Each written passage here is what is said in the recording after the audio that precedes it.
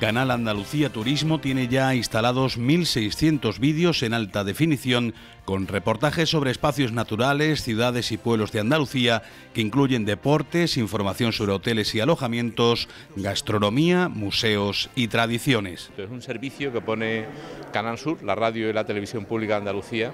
al servicio del mundo del turismo. Es decir, no solo para que nos vean desde todas partes del mundo los enormes atractivos turísticos que tiene nuestra comunidad, nuestra tierra, sino también para que aquellas personas que se dejen seducir por las imágenes y por el contenido de este canal, decidan venir a pasar unos días con nosotros. El portal se irá actualizando con nuevos vídeos y noticias de las ocho provincias y con información puntual del tiempo en la comunidad convirtiéndose en una herramienta muy interesante para apoyar al sector turístico andaluz. Para nosotros es una satisfacción enorme que Canal Sur haya decidido que sea Baeza la ciudad en la que se presente y desde luego herramientas como esta, con la particularidad de que Canal Sur tiene una repercusión también muy grande, que tenemos la posibilidad de ver Canal Sur en tantos, en tantos eh, países fuera también de la Unión Europea, pues es fundamental para que podamos seguir atrayendo turistas que aún no tienen conciencia de la gran belleza que tiene nuestra ciudad y de las potencialidades las posibilidades que tiene la comarca. Es una gran iniciativa por la que yo felicito a la Radio Televisión de Andalucía,